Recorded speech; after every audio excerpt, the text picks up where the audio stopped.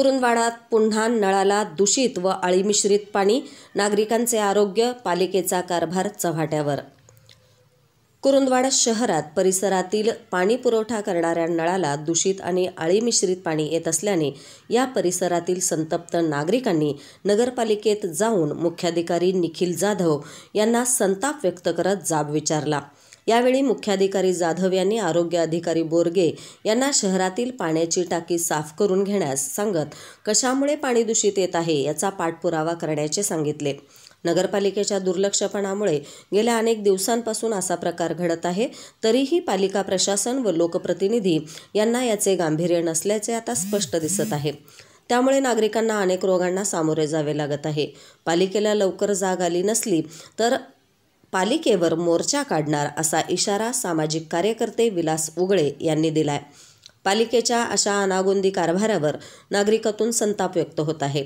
नागरिकांच्या जीवावर बेतल्यावर प्रशासनाला जाग येणार काय असा सवाल आता नागरिकातून निर्माण होतोय. पाणीपुरवठा योजना जुनी असल्याने शहराला अनेक वेळा अपुरा व अशुद्ध पाणीपुरवठा होत असतो.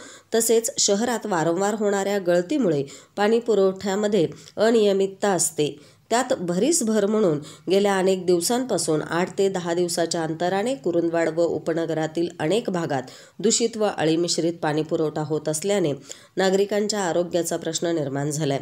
शहरात डेंग्यू चिकनगुनिया अशा अनेक रोगांना नागरिकांना सामोरे जावे लागत आहे. यावेळी भाजप शहराध्यक्ष राजू फल्ले स्वप्नील श्रीधरनकर सुदर्शन माळी आदींसह नागरिक उपस्थित होते. Santosh Tarale K W D news Kurundwad. नळाला जंतुयुक्त पाणी येतं. अशा बऱ्याच तक्रारी गावामधून झाल्या. पण एवढ्या तक्रारी होऊन सुद्धा हे प्रशासन नगरसेवक कोणीही याच्याकडे लक्ष देत नाही. आणि आता शेवटचा उपाय म्हणून आम्ही या आज ही तक्रार करतोय.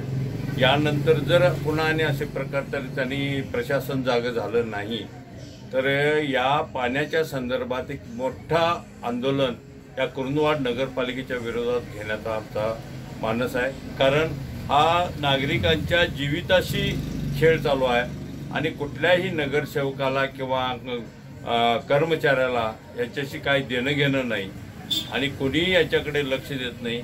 येतात पाणी बघतात आणि जातात. पण कसं झालं आहे रोग पायाला आणि ऑपरेशन हाताचं अशा प्रकारचा ह्यांचा कारभार चालू आहे.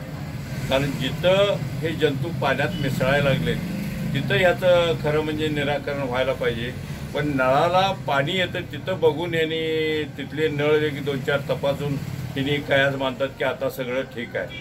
पण हे रोजच्या रोज असे जंतू यायला लागलेत. आपण हे बघा हे जंतू किती लांबडे आणि किती हे आहेत. हे भयानक कुठल्या रोगाचे आणि कशाचे जंतू आहेत हे पण आम्हाला समजायला तयार नाही. आणि शासनानं याच्याबद्दल आता काहीतरी करायला पाहिजे. आज नाहीतर आम्ही जिल्हा परिषद आरोग्य विभाग कलेक्टर ऑफिस तिथे नेऊन सुद्धा हे आता आम्ही याचे नमुने देणार आहे. आणि योग्य ती कारवाई करण्यासाठी त्यांना आम्ही भाग पाडणार आहे.